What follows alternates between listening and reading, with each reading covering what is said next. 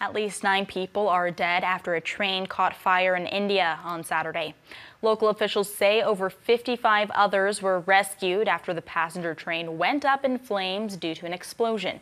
Investigators say the explosion occurred due to a gas cylinder brought on board by a passenger, which ignited when the item was turned on during an attempt to make morning coffee. According to local reports, the train was carrying pilgrims from India's southern state of Tamil Nadu when the explosion took place. तो ये एकदम, आग जली, उठे हम लोग भागे। तो भागने के बाद जो भी, अब चारों तरफ़ चारों तरफ़ से दरवाजे बंद थे। खिड़कियाँ भी बंद थी।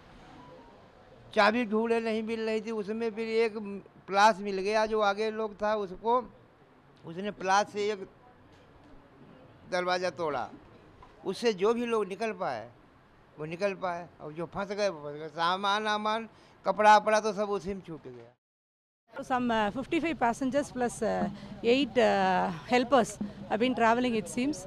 And today morning, when they tried to uh, make coffee uh, for them, when they lighted the stove, the, the, there was a blast of the cylinder, it seems.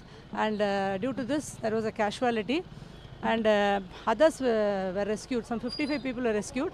And uh, as of now, we have retrieved nine bodies from inside the coach. eh.